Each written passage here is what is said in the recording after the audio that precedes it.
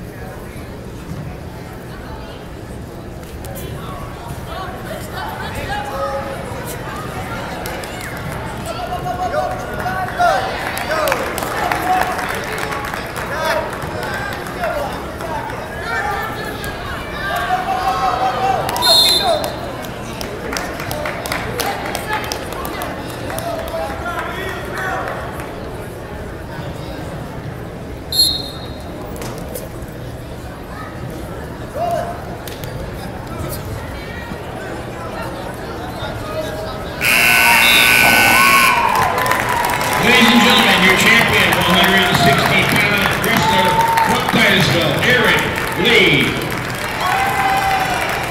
Now accepting awards in, in the awards podium,